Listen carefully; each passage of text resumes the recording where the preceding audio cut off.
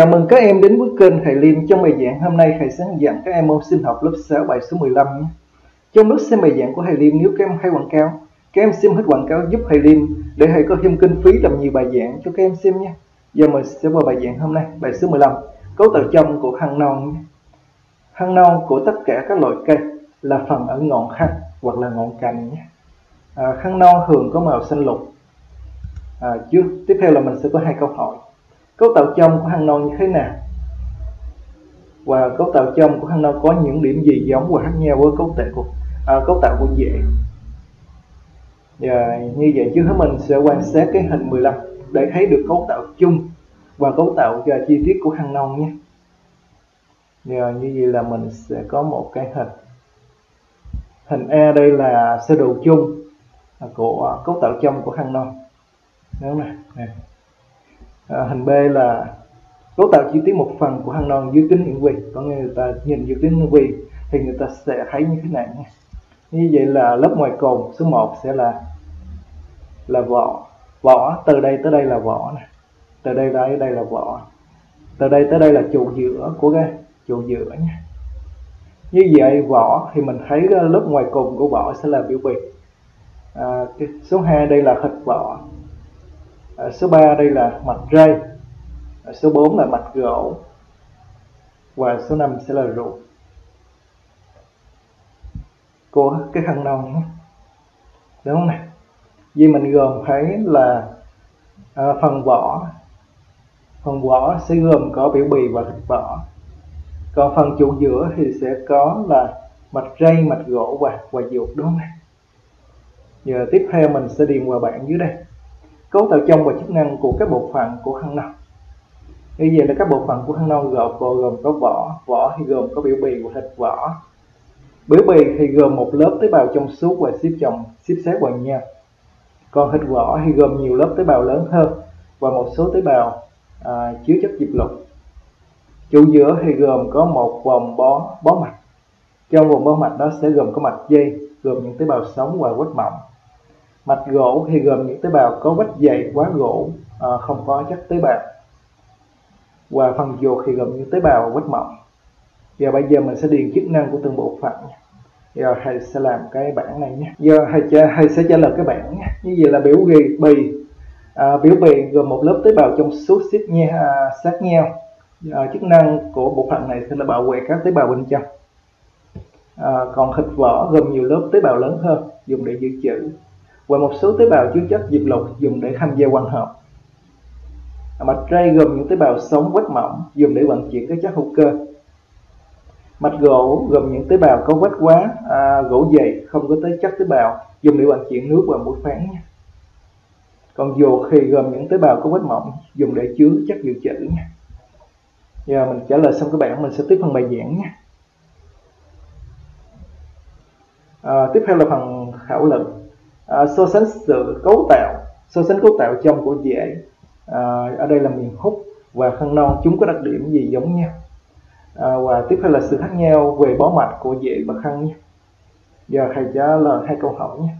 Ở câu hỏi này người ta kêu mình so sánh cấu tạo trong của dễ à, à, và khăn non chúng có đặc điểm gì giống nhau? Và sự khác nhau của về bó mạch của dễ và khăn. Như vậy thầy sẽ trả lời hai câu hỏi bằng cách mò hay là một cái bảng nhé như vậy là cấu tạo trong của dễ và cấu tạo trong của khăn thì mình thấy sự giống nhau là gồm có vỏ thì gồm có biểu bì và thịt vỏ à, trụ giữa thì gồm có bó mạch và dục tiếp theo là sự khác nhau. Biểu bì thì gồm một lớp tế bào hình đa giác xếp xích nhau. Lông hút là tế bào biểu bì kéo dài ra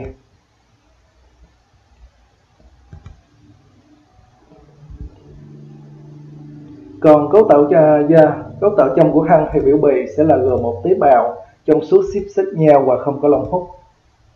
Còn thịt vỏ bên đây là tế bào không chứa diệp lục. À, còn bên đây là thịt vỏ có một số tế bào chứa diệp à, chứa diệp lục nhé. À, tiếp theo bên đây là mạch rây và mạch gỗ xếp xen kẽ thành một vòng. Còn bên đây là mạch rây ở ngoài mạch gỗ ở ở phía bên trong đúng không nào? Giờ như vậy mình trả lời xong hai câu hỏi mình sẽ tiếp phần bài giảng nhé.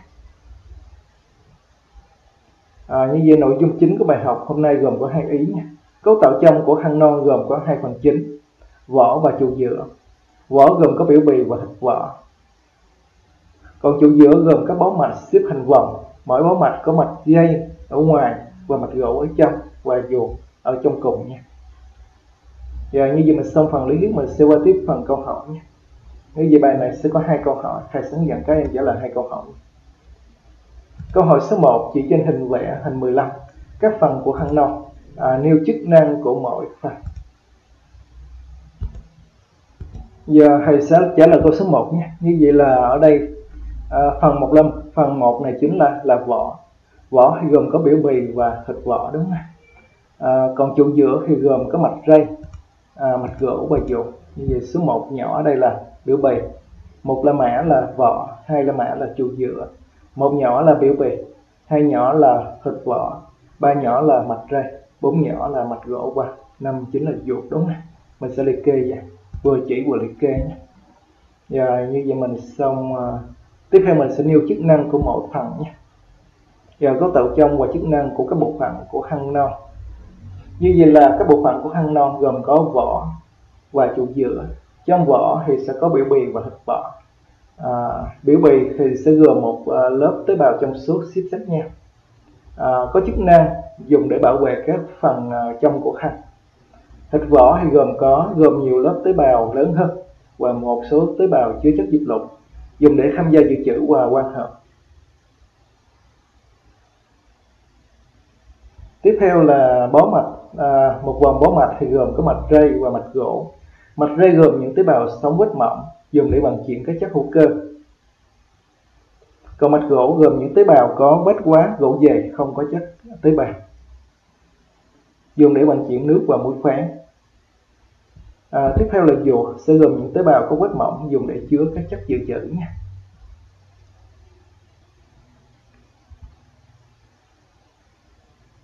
Giờ như vậy mình trả lời xong câu số 1 mình sẽ qua tiếp câu số 2 luôn nha giờ tiếp theo câu số 2 à, câu số 2 người ta kêu mình so sánh cấu tạo trong của thằng non và dễ.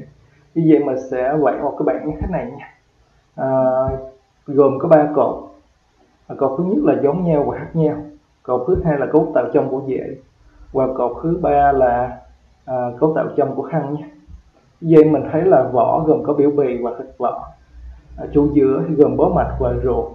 À, trong bó mạch thì sẽ có mạch ray và mạch ruột còn cấu tạo trong của khăn mình thấy vỏ cũng có biểu bì và thịt vỏ. Chu giữa gồm có bó mạch và ruột à, cũng tương tự mạch ray và mạch gỗ hai bên giống nhau đúng không còn khác nhau thì mình thấy là cấu tạo trong của rễ thì biểu bì gồm một lớp tế bào hình đa giác xếp xích nhau.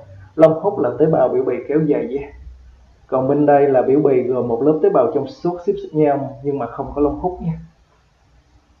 Thịt vỏ bên đây là tế bào không chứa diệp lục. Ờ, mặt mạch ray và mạch gỗ xếp xen kẽ thành một vật.